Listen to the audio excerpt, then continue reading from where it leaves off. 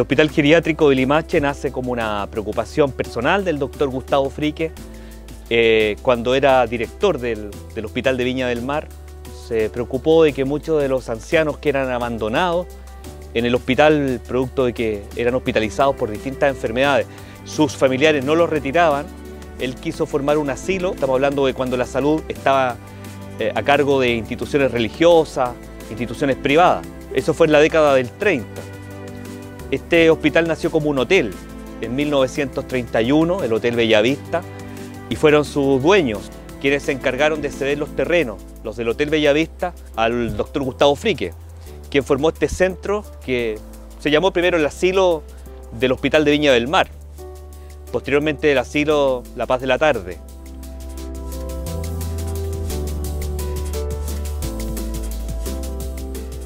Acá se siente una paz, una tranquilidad cuando no hay tanto movimiento, por ejemplo, los días sábado, domingo, festivos, una tranquilidad en nuestro hospital. Uno escucha mucho del usuario de, las visitas, la alegría de ellos de venir acá, de sentirse tan bien, de ser tan bien acogidos. Cooperaban para con nosotros las monjas, unas monjitas hospitalarias, ¿no? Teníamos una capilla acá y ahí hacían misa todos los domingos ¿ya? para el funcionario y para la comunidad.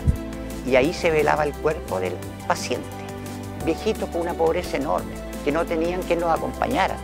¿ya? Y nos acompañábamos nosotros, ahí nos hacíamos parte, éramos parte de la familia de ellos. Limache está formada por dos pueblos. El primer pueblo es Limache Viejo, que está ubicado del estero hacia el sur. El segundo Limache Este, que es San Francisco. Esta ciudad se fundó en 1856 con la llegada del ferrocarril. Creó un gran núcleo, un gran centro comercial fundamentalmente alrededor de la estación.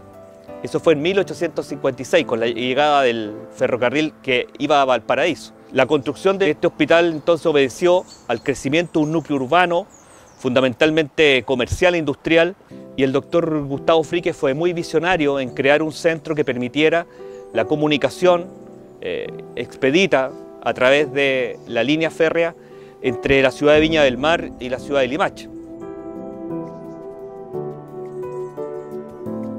En este centro entonces se conserva la campana, el terreno por supuesto, gran parte de la estructura, el monumento que está a la entrada también, que es la escultura que fue demandada a diseñar por el, doctor Gustavo Frique y parte de las instalaciones más antiguas que forman parte de los pabellones.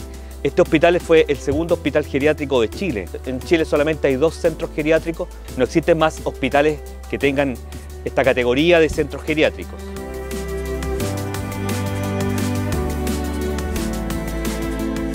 Es un hospital que trabaja en equipo.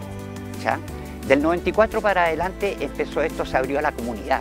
Con el doctor Rojo, esto cambió, es hospital geriátrico para, digamos, rehabilitar a los pacientes. Llegaban en forma horizontal los pacientes y salían en forma vertical. Emocionados ellos, ¿ya?, del logro que, que, consiguieron en nuestro hospital.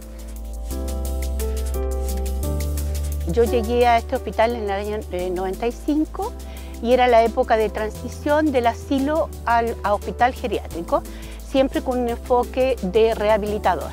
Y poco a poco esto fue evolucionando y se fue formando entonces los servicios de geriatría.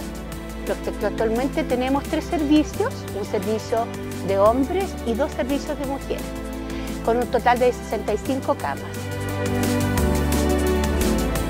Uno de los grandes proyectos que tenemos nosotros, una de las grandes ansias que tenemos, que es ser reconocidos como un hospital de especialidad. Eso significa que dejemos de ser llamados un hospital de baja complejidad, sino que seamos vistos como un hospital de especialidad, donde están los geriatras, los neurólogos, donde están los traumatólogos, que se dedican directamente a la rehabilitación de los adultos mayores de toda la macrozona centro-norte de nuestro país.